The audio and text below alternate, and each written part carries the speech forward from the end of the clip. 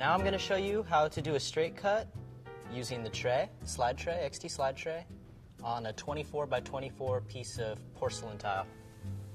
First, pull your tray out, get your tile.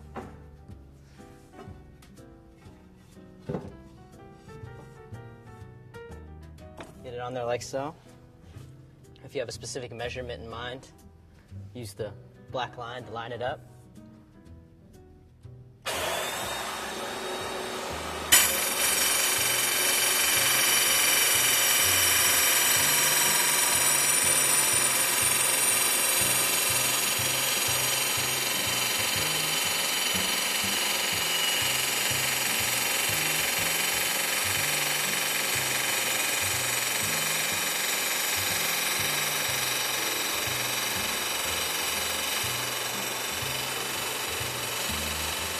You're gonna let the blade do the cutting. You really don't want to force it. I'm not putting that much pressure on the tray.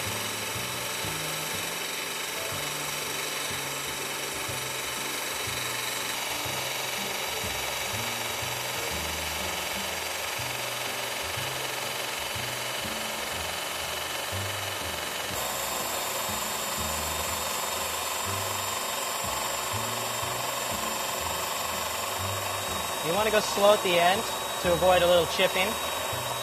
Slower you go, the better.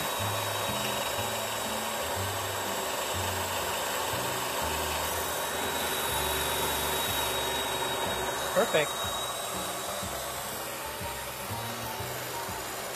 Now,